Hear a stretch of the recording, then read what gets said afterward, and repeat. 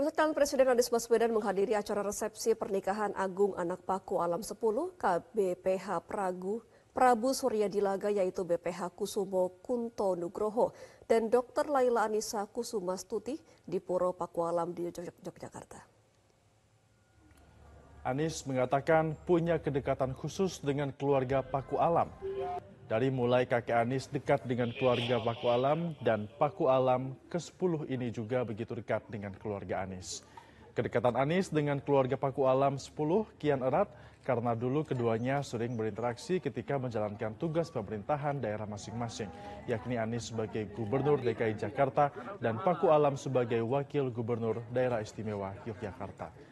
Anis menilai secara pribadi Paku Alam 10 sangat baik dan sangat berakyat Anies juga mendoakan semoga kedua pengantin agung keluarga Paku Alam menjadi pasangan yang bahagia.